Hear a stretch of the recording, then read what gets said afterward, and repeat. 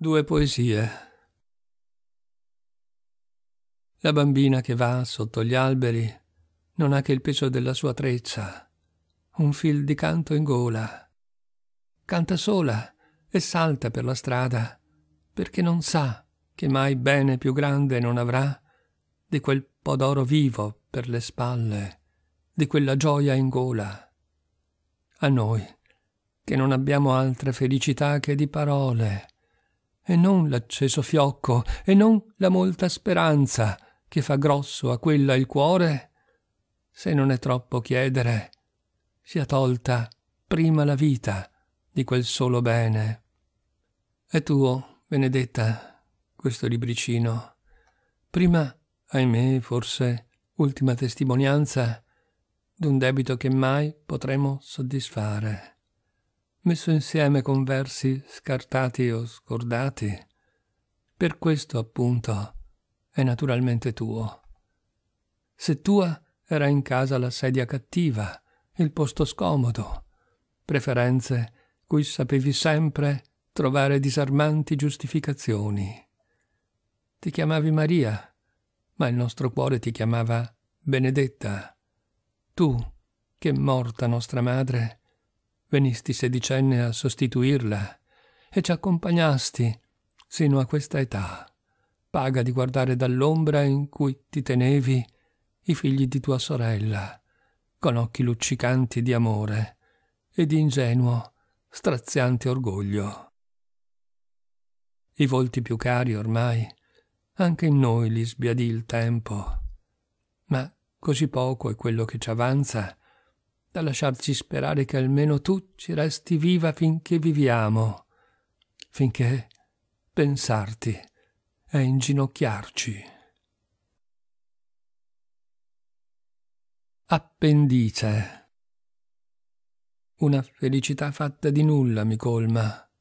E non è forse che l'arietta di questa mattinata di settembre, come convalescente che esce al sole la prima volta, tutto quel che vede gli par di non averlo visto mai. Ad ogni passo scopre nuovo mondo e di dolcezza quasi piangerebbe.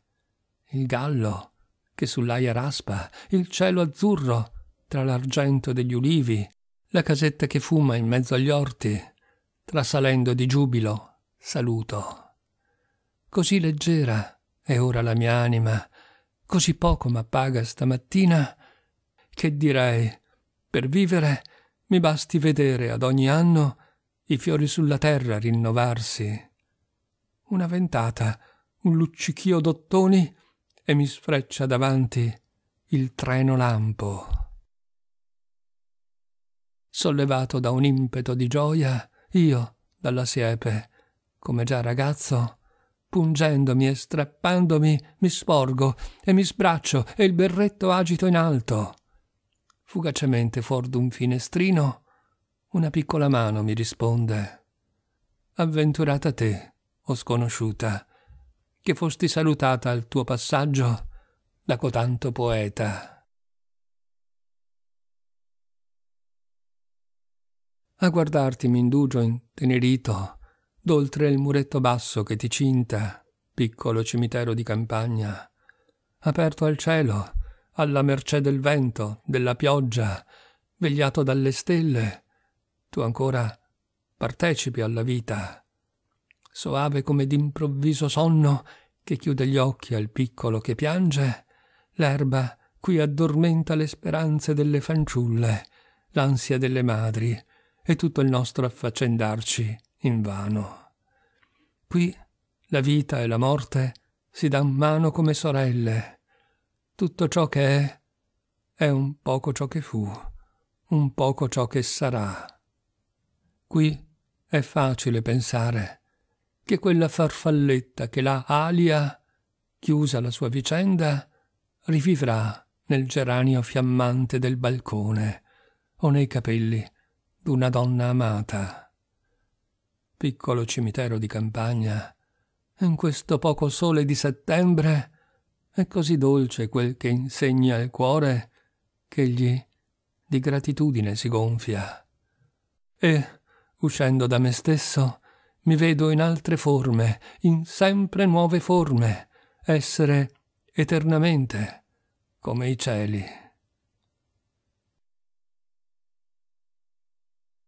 Stracci di nebbia lenti e cenere d'ulivi, quasi a credere stenti che vivi, e la pioggia, una ninna nanna di triste fanciulla, al corpo che giace, la terra, una culla.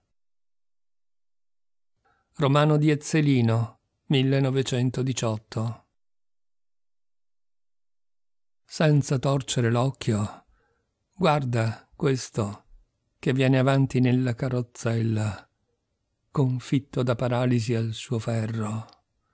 Nulla, egli chiede, ma per lui quell'altro che standogli alle spalle lo sospinge e ad imboccarlo di non chiesto pane intorno muove l'infingarda faccia e con la voce fastidisce.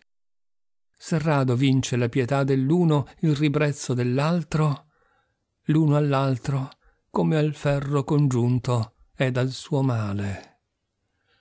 Quando simile male ci impedisce, e la lingua tra i denti secchi liscia, la mano ad aiutar la lingua annaspa, uno che non vediamo dietro noi, alla gente che passa, pietà chiede, con la faccia infingarda, uno che ci somiglia, e la sua voce fastidisce.